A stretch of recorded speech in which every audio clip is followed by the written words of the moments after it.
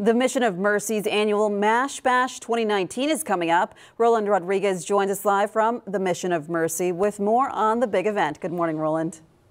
Uh, good morning, Priscilla, and good morning, South Texas. The big event starts actually going to be held March 1st at the American Bank Center. Now, joining us this morning, we have to my left, we have Sherry Bowers, and to my right, we have Andy Crocker, both with the Mission of Mercy. We'll start with Sherry. How are you doing this morning? Good morning. Yeah. I really appreciate you inviting me out here because obviously we're having fun this morning, but we're having fun for a good cause. We are. Mission of Mercy is having their MASH Bash 2019 this year at the American Bank Center on Friday, March 1st. We want everyone to come out and join the fun. There's something for everyone. We have games, we have a five card draw for the entertainment, and there's so much to do silent auction, raffle, all this money helps us. And this is something we've done for the past few years, and it's gotten bigger and better. Uh, what, what's going to be more, more, I guess you could say, more interesting to those who come out?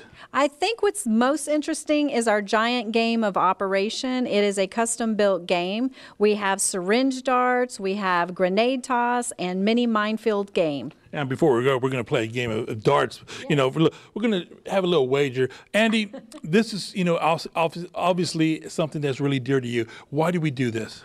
Because too many people do not have health care these days, and so Mr. Mercy provides that free health care to people who have no one, nowhere else to turn to. Yeah. Not only do y'all support those in our very own backyard, but the surrounding communities as well. That's correct. We have a mobile clinic in Sandia that we attend monthly and have a, um, quite a number of people in that area who don't really have nowhere else to go. Who can qualify?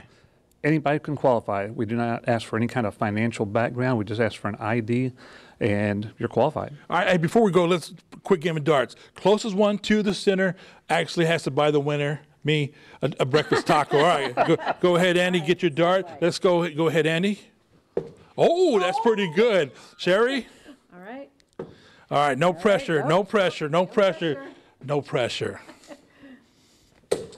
Oh. oh. Shattered. It hit the center and it shattered. Can you believe that? Looks like I'm going to get a breakfast taco. If you'd like more information on the Big Bash, all you have to do is visit our website at KRISTV.com.